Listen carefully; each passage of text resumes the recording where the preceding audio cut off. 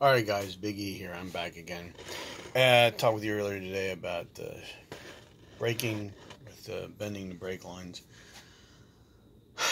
So I got off the phone with guys helping me who's build stalkers, super stalkers, and um, we came to conclusion that um, the lines that are on the front of the turd are fine. They're small. It's hard to explain um, with when you start dealing with hydraulic pressure and and brake force, applied force, and the science of it. This is one of those situations where common sense doesn't rule. Okay. See, now in my mind, excuse me, I'm tripping over stuff in my area here. Um, in my mind, I would think, hey, the bigger the line, you want to move more fluid. Okay so you can get more pressure. So the master cylinder, same thing. The bigger the bore, you'd get no more pre.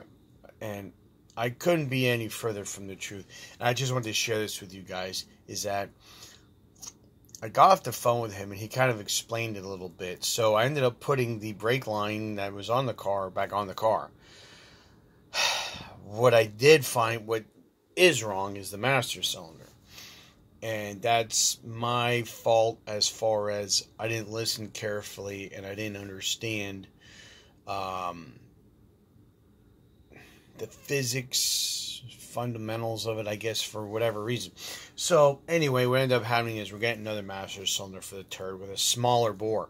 And the reason being is uh, I was doing some little bit of, of snooping around on the internet, and I wanted to share with you guys so basically what happens is is like um, with master cylinders are really weird because uh, the principle uh, the principle is that uh, master cylinders smaller the bore the more pressure they they they, they create.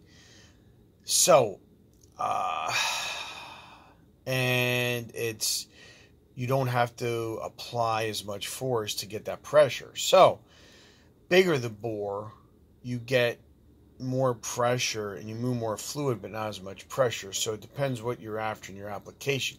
If you like a hard pedal um, just few things that i got from a little bit i didn't like i said i have kids and stuff so i don't have a lot of time to research it so i'm just going to spout off things that kind of stuck in my mind was the bigger the bore of your master cylinder uh, you're going to get a harder pedal and you're going to get like a slower residual buildup of brake pressure with that high, with the hydraulic uh, brake system.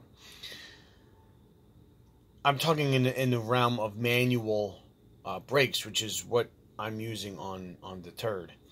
Uh, you now you take that same and there's one website that used the factor of 100 pounds you're applying 100 pounds of pressure to a brake pedal and ultimately they were saying and I forget. I think they they were using smaller bore sizes, so they were saying like like, like a one inch bore size master cylinder. If you put 100 psi uh, pressure to that, you would get 122 psi of force. Okay, from that one inch, and they had this whole formula of figuring out the surface area and divide by this and the bore. And if you want, you can look it up they took a 7 8 bore size uh, master cylinder and they applied that same 100 psi of force and it multiplied that and made it into 166 psi of, of, of, of, of applied force. Now, that being said, you don't have to apply. Uh, the smaller bore is going to give you like a soft pedal.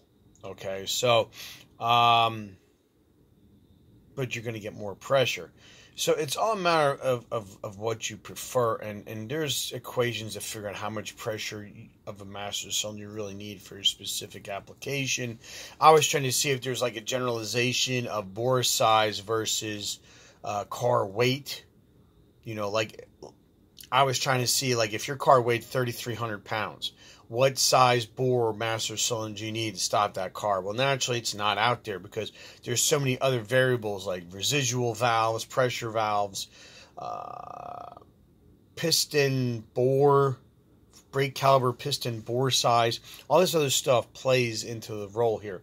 Uh, so basically, and the other thing I got out of it is you can you can add power brakes to a manual master cylinder and it will work. But you cannot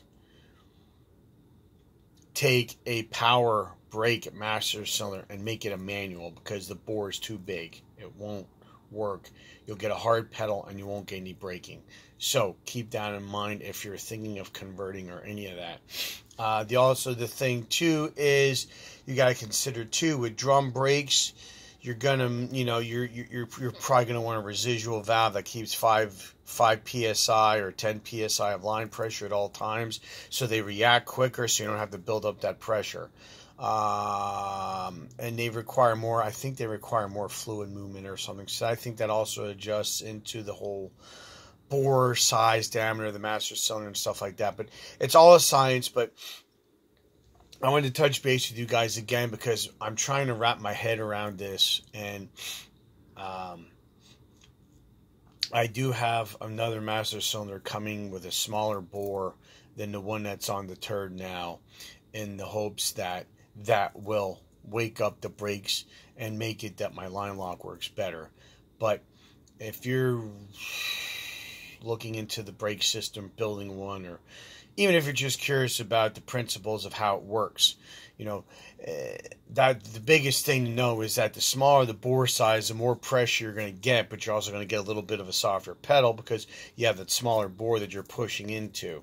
And I and there was also a way to figure out travel too. I have to look. I would have to look into that. But basically, what you need to know is if you're out there, you're going to buy universal manual um, uh, master cylinder for whatever project you're building see if you can, you know, and the guy, one guy even said in a video, it's a guessing game. You're going to buy a master cylinder and it might not be perfect. You might get, go through two or three different sizes before you find the one that matches A, your driving style and what works more efficiently for you. But just to know that the bigger the bore size, the harder the pedal, the less pressure you're going to get the smaller the bore, the more pressure you're gonna get like a soft spongy pedal and stuff. So, um, just to keep that in mind. I don't know if that helps. I wanted to share that with you guys. I wanted to let you guys know that we got a, we're gonna have a master cylinder install coming up on the third, and see if that corrects the whole spongy pedal lack of brake situation. So anyway, that's all for now. I guess